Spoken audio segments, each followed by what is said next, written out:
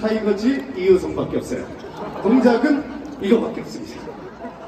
일단 우리 치어리더분들의 동작에 맞춰서 목소리는 힘차게 출발합니다. 자, 연습 그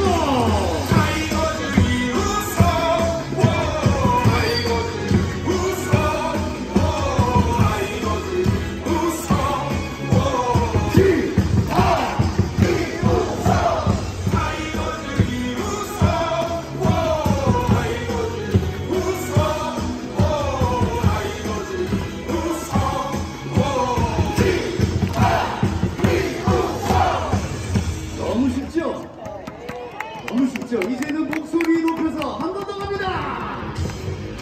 타이거즈 이우성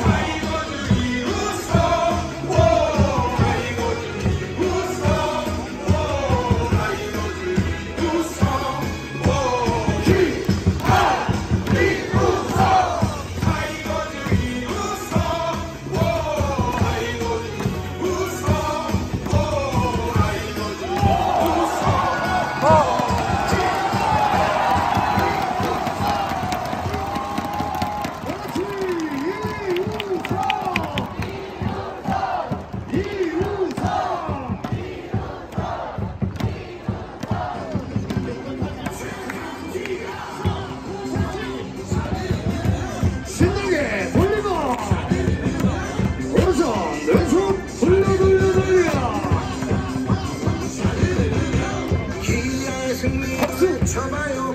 오, 승리의 최강이야. 다 같이 소리쳐봐. 우리가 누구?